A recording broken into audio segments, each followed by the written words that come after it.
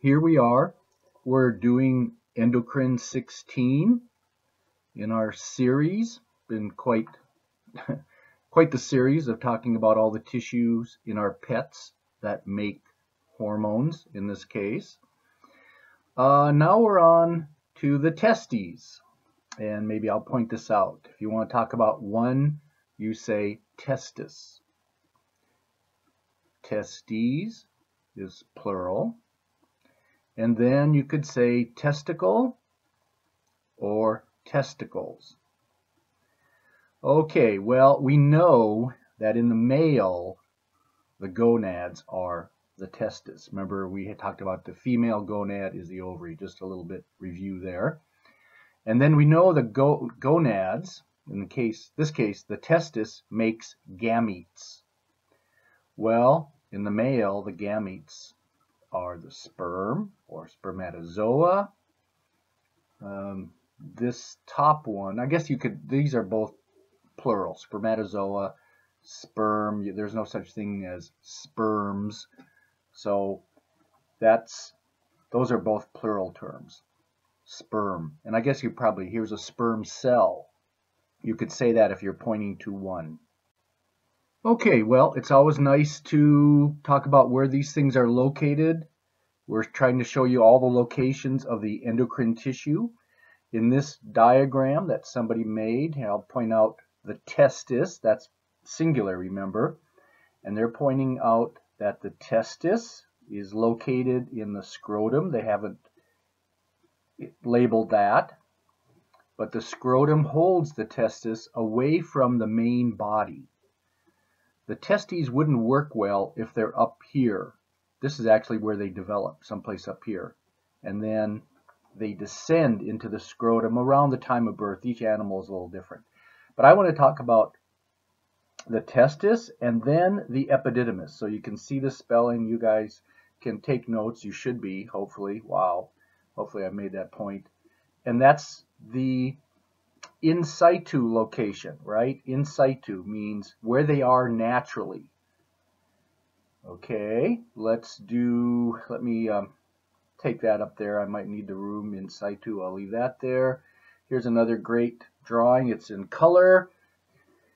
And again, there's the scrotal sac. You can call it the scrotum, scrotal sac, the testes, not too far away from the body actually in the horse. This happens to be horse if I didn't say, say that. And then there's the epididymis.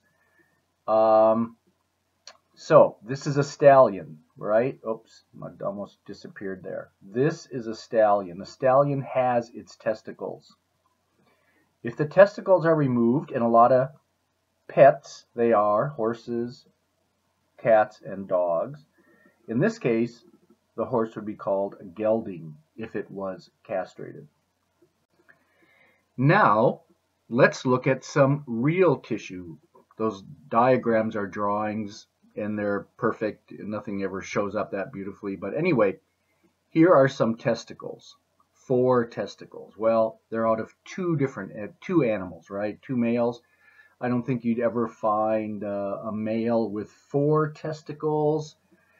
Uh, and you might say, why am I hedging on that? Because sometimes there's more than the normal number in some cases, but these are lamb testicles. I thought they showed a nice little, the outer uh, shiny surface, which is going to be labeled up here in a little bit on another diagram or picture, but I'm encircling the testicle, the testis. And then this structure, you can kind of see is like attached to the outer wall of the testis, and that was the epididymis. And that was labeled in the past, just recently. Okay, well, let's see. I want to show you this one first. Here's another, you might say, blurry picture, and it is. And But I wanted to make a point here that this animal, when it was castrated, or actually it was probably, this was not during castration. The reason I'm hedging there is because they must have dissected this animal because here's the normal size testis in this male that was being dissected. And then this, you might say, what is this? Well, this is a testis. See the small epididymis, but then it's definitely smaller. Well, it ends up being, this was a cryptorchid animal. So now I need to get some uh, words out here. Um, castration, right, is a term. Well, neuter, we neuter our pets.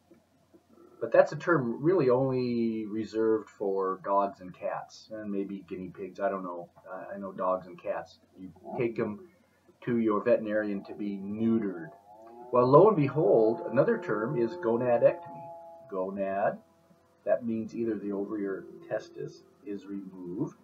And then, of course, we have other terms, and that's maybe you know another object here.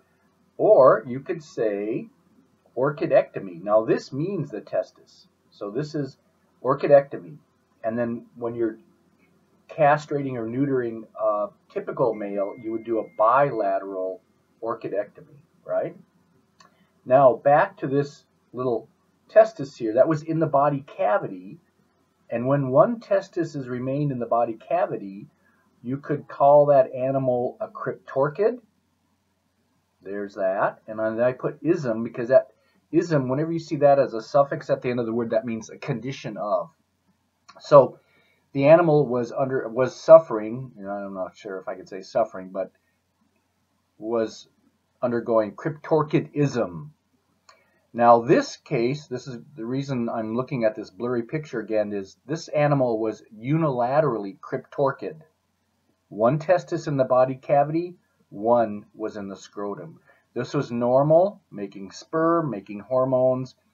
Usually a cryptorchid testis is not very functional. You can see even if it was making sperm, and you, a lot of times it doesn't, or they're making infertile sperm, sometimes this testis is still making some of the hormones. And then, of course, you could have a bilateral cryptorchid animal. Both testis, testes are retained in the body, and that's not good. Okay, then if you ever cut, I'm going to just put this right there. If you ever cut the surface or cut the testis after castration, I'm going to enlarge this. This is what you see. A bunch of tissue, but it's pretty nondescript, kind of pale pinkish color, but no air. And the reason I'm making that point is sometimes histological sections show some air, and I'll point that out here br briefly. Now I'm doing histology. That means what do we see after we take a little sliver of tissue and stain it. And I'm just going to show you some of these. You can pause and look at it, but I just want to point out they've got the epididymis label. That's always outside the testis. Here's what the testis looks like. There's blood vessels and so forth. Pretty nondescript. When you get really close, then here's what I want to concentrate on. Leydig cells are outside the seminiferous tubule. So it may be a, I'll do this. Here's a seminiferous tubule. This whole thing is making sperm. You can actually see sperm in the lumen. It would not have air. It's got fluid in there. So the Leydig cells make testosterone. Inside, here's another seminiferous tubule. Watch where I'm circling, and we're missing part of it. There's sperm tails and sperm heads in there. But in this area here, inside the seminiferous tubule, is a very important cell or cells called Sertoli cells. Okay, very important. And then, of course, the more drawings, the better. And then I've got this one here to show you um, what might be called an artifact. See, here's one seminiferous tubule. It's a perfect transverse section. Remember, that's perpendicular to the long axis. There's sperm. This animal is past puberty. Only sperm are made after puberty. There's the spelling Sertoli cell inside here. Leydig cells are always outside. And maybe the one thing I should spell is when it looks like air but it's not, it's called an artifact.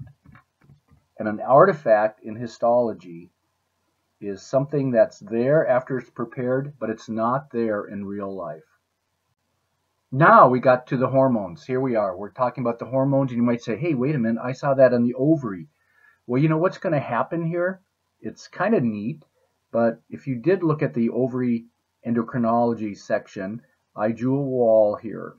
And in the ovary, that's the follicular wall. In the testis, that's the seminiferous tubule wall.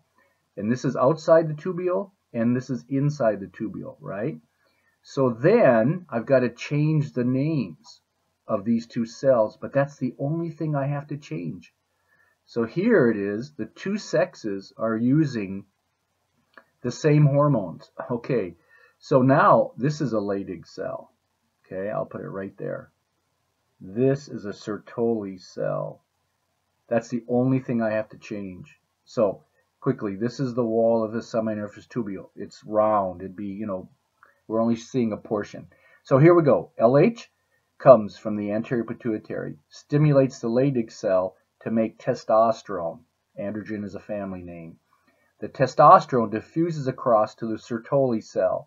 The Sertoli cell, having aromatase enzyme, converts testosterone to estrogen.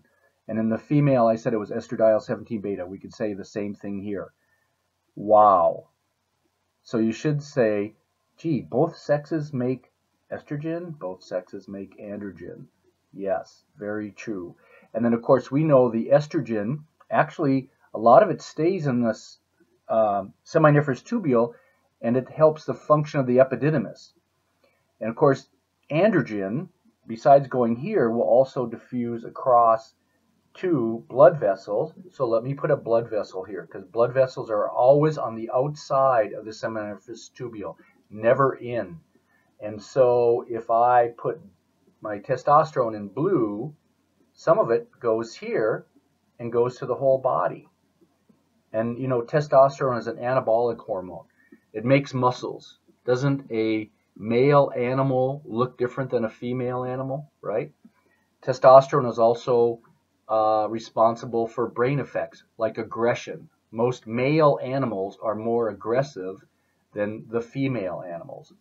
Really very interesting stuff. Okay, again, the more diagrams you look at, the better off you are. This one is really comprehensive. It shows LH and FSH coming to the testis.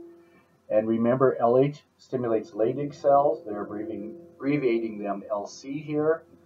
Then the testosterone diffuses into the seminiferous tubule, where FSH tells the Sertoli, Sertoli cells to convert it into uh, estradiol. So here's estradiol. It's got that O in the beginning. You know, that's the English, the British way to spell it.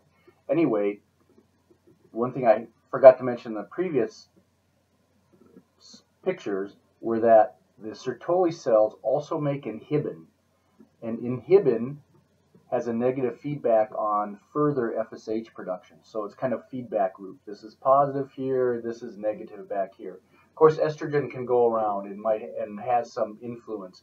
Testosterone definitely, and this is depicting in the male, so that's why they've got the question mark on the estrogen. Anyway, negative feedback telling these things to release less. Very good picture, really good. Okay, let me do another one here. I'm going to block out some. No, I'm just going to do it right there. Okay, so now this is just another way of depicting that. FSH comes to the Sertoli cell because this is a little clearer. LH comes down to the Leydig cells. Leydig cells make testosterone. Sertoli cell makes inhibin, and they didn't really show you the estradiol, but the Sertoli cells make estradiol. And finally, Finally, here's the list of illustrations that I use. Thanks a lot. See you later.